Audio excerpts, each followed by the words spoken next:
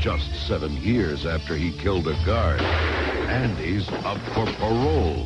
He was never charged with murder. Plea bargaining's an everyday occurrence. We should not be releasing him. But there is nothing that I can do. The prison shrink, though, has a plan No one gets away with murder.